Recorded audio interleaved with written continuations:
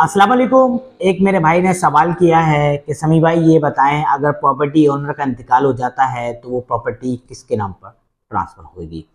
तो आइए मैं आपको उसका तरीक़ेकार बताता हूँ कि जिस बंदे के नाम पर वो प्रॉपर्टी है और वो बंदे का इंतकाल जिस हॉस्पिटल में होता है या वो बंदा जिस हॉस्पिटल के अंदर एडमिट था, वहाँ से उस बंदे का डेथ सर्टिफिकेट तैयार होगा। क्योंकि प्रॉपर्टी कभी भी डायरेक्ट ट्रांसफ़र नहीं की जाती। वो डेथ सर्टिफिकेट कोर्ट के अंदर जाएगा और कोर्ट नादरा से सारा डेटा कलेक्ट करेगा। और कोर्ट उसके बाद एफआरसी यानी फैमिली रजिस्ट्रेशन सर्टिफिकेट को देखेगा और कोर्ट पर्सन के हिसाब से एक लेटर जारी करेगा, जिसको सक्सेशन लेटर कहते हैं। और वो लवाकिन वो लेटर मुतल का सोसाइटी के अंदर लेके जाएँगे। अगर वो सोसाइटी इंतकाल और रजिस्ट्री वाली है तो आप तहसीलदार के ऑफ़िस में वो लेटर लेकर जाएँगे।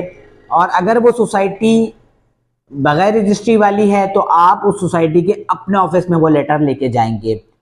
तो वो सोसाइटी या तहसीलदार के ऑफ़िस में जब आप जाएँगे तो वो उस लेटर के बेस के ऊपर वो प्रॉपर्टी अगर पाँच बंदे हैं या चार बंदे हैं तो परसेंट के हिसाब से उनमें इक्वली तकसीम कर दी जाएगी।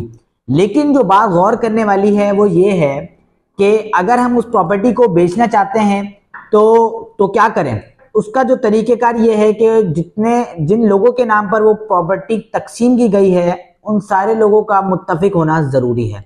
और उसके बाद ही वो प्रॉपर्टी हम बेच सकते हैं, वरना वो प्रॉपर्टी हमारे किसी काम की नहीं।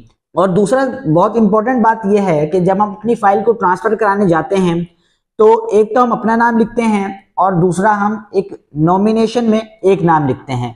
तो लोग ये समझते हैं कि वो फ़ाइल हम उस नॉमिनेशन वाले बंदे के नाम पर ट्रांसफ़र कर रहे हैं, जो कि सरासर गलत है।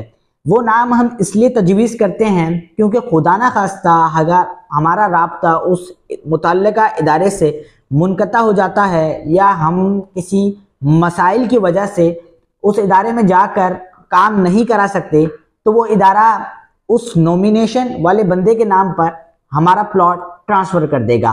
और लाजमी बात है, उस नॉमिनेशन वाले बंदे में हम अपने किसी अहल खाना का नाम या किसी दोस्त अहबाब का नाम ही लिखवाएँगे, ताकि हमें आने वाले कल में कोई परेशानी ना उठाना पड़े।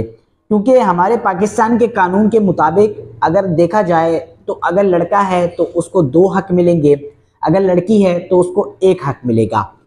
क्योंकि कुरान कहता है, कुल्लू नफसिन ज़ायकतुल मौत, हर इंसान को मौत का मज़ा चखना है। और जितने मेरे भाई देख रहे हैं, उन सब के प्लॉट्स, फाइलें उनके पास मौजूद हैं और कुछ पता नहीं कब हमें इस दुनिया से जाना पड़ जाए। तो ये तरीक़ेकार है जो हमें भी फॉलो करना है। और आप सबको भी फॉलो करना है, जो मैंने आपको स्टेप बाय स्टेप बताया है। और जिस भाई ने सवाल पूछा है, मैं उनका बहुत ज़्यादा शुक्रगुजार हूँ, उनकी वजह से बहुत सारे लोगों के मसले हल हो जाएँगे।